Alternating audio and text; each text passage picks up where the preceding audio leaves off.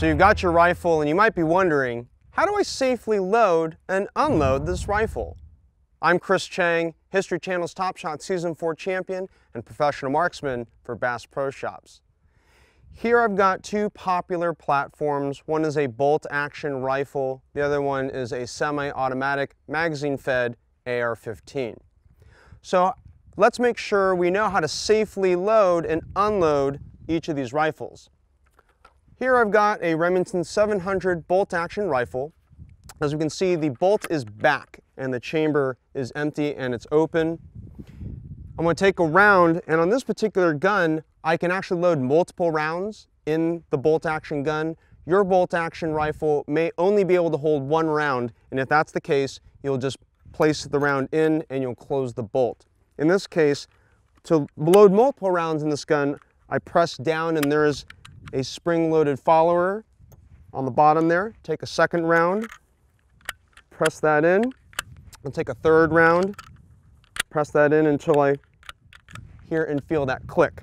So now to chamber around, we're basically going to take this bolt, push it forward and then down, making sure again, finger is away from the trigger and my gun is on safe.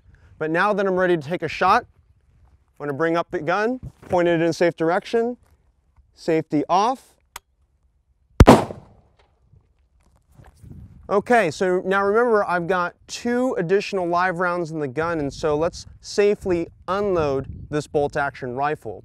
To do so is very simple. Basically we're going to lift up that bolt handle, pull it back, see that spent cartridge eject.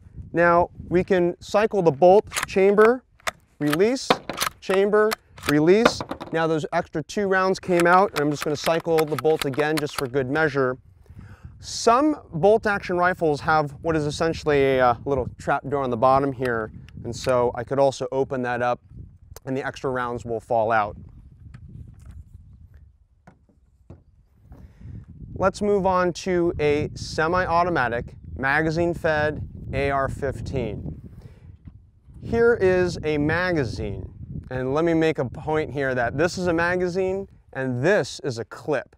Clips are a totally separate loading system and the main thing you need to remember is if it has a spring, it's a magazine. And if it doesn't have a spring, it's a clip. So know those differences, but today we're talking about a magazine with an AR-15 rifle. So for the beginner, you may not know, well, which way does the magazine go? Is this the right way or is this the right way? The best way to find out is you basically put it in your rifle. So it goes in this way. So now that we know that this is the correct orientation, we're going to take our rounds. And so we know that the primer is in the back and the bullet is forward. So we know that the round goes in this way. And then to load additional rounds, you just keep on pressing down and keep on pressing down. All right, so now we have a partially loaded magazine. Now to safely load, again, keep the gun pointed in a safe direction, finger off the trigger. Gonna go ahead and seat my magazine, give it a nice, nice push and go ahead and also pull on the magazine to make sure that, that it's firmly seated. Gonna go ahead and close the bolt. All right, gonna aim at my target, safety off, finger on trigger, gonna fire one shot. Okay, finger off the trigger. I'm to turn the safety on. Okay, now I fired one shot. You saw that the spent cartridge ejected, the bolt came back, and a new round is seated in the chamber. So I've got one live round in the chamber, and I've got extra rounds in the magazine. So let's talk about how do we safely unload this rifle. So the main thing, again, keep the gun pointed in a safe direction. First thing we're gonna do is eject the magazine, all right? So there's the magazine, we've got those extra rounds in. All right, now remember keeping the gun in a safe direction, the safety's on and finger away from the trigger. I'm gonna pull the charging handle back. There goes that live round, and I'm gonna lock the bolt back.